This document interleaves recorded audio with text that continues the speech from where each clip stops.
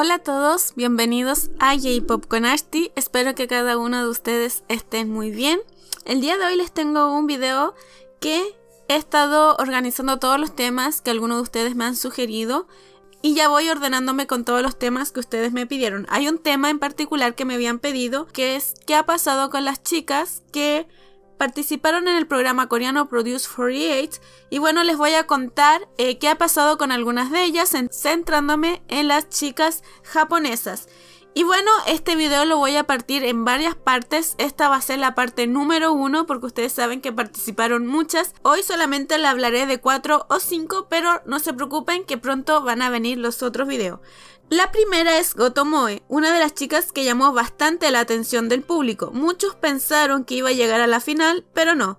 Después de que volvió a su grupo, AKB48 disfrutó unas semanas, incluso fue center de algunas canciones en los teams de AKB48 sin embargo, anunció su graduación del grupo y firmó contrato con una agencia de modelaje, así que siguió su carrera de modelaje. Ella está muy activa en su Instagram, pueden buscarla y así saber un poquito más de ella. Así que en resumidas cuentas, ella volvió a su grupo, estuvo un tiempo, fue center de algunas canciones y luego se anunció su graduación, se graduó y siguió lo que ella quería, que es modelaje y firmó un contrato con una agencia. Luego tenemos a Takeuchi Miyu. Wow, esta chica, muchos sabemos que fue la favorita de muchos y queríamos que estuviera en Ice One, pero lamentablemente no estuvo en el grupo. Muchos tenían la esperanza, como dije, de que esta chica estuviera en el grupo Ice One y desde un primer momento en que ella empezó a cantar,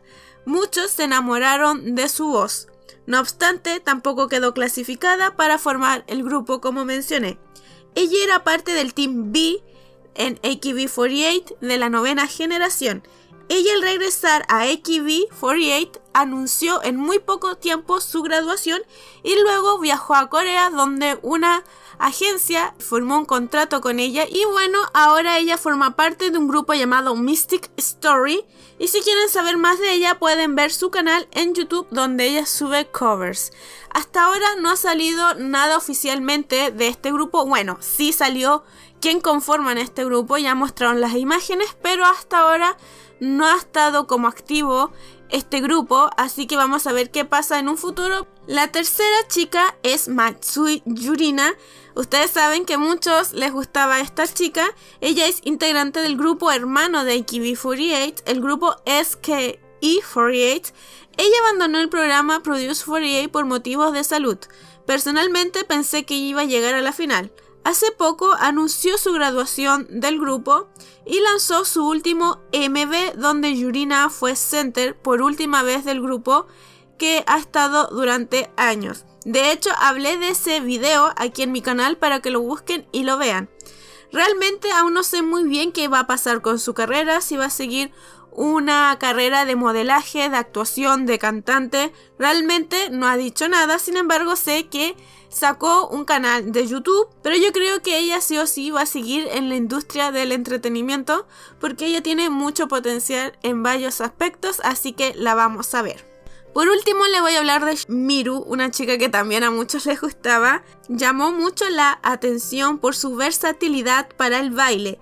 Es parte de la primera generación del grupo en MB48, uno de los rostros más emblemáticos de este grupo. Terminó en el puesto número 20 cuando participó en Produce 48. Luego de que terminó el programa, obviamente ella volvió a su grupo, estuvo muy activa, sin embargo, el 2 de marzo de este año anunció su graduación. Se dice que su graduación tendrá lugar en Osaka Castle Hall a principios del verano. Para los que no sepan, ella también lanzó una canción como solista y aquí hablamos de esta canción, así que busquen el video, está aquí en el canal donde reaccionamos y yo les di mi opinión sobre su single solista y de verdad personalmente me gustó, bueno, ya les di un spoiler, me gustó bastante. Y bueno, todas estas chicas tienen redes sociales, así que las pueden buscar. Por lo que yo veo, están más activas en Instagram, así que pueden seguirlas por ahí. Y también varias ya tienen canal de YouTube. Y eso, muy pronto, si es que ustedes gustan y comparten este video y dejan like y comenta, podemos seguir hablando qué pasó con las otras chicas que participaron en Produce 48. Recuerda que si te gusta este contenido, por favor comparte, suscríbete y deja tu comentario. Nos estamos viendo en otro capítulo de mi programa. Bye, que estés muy bien.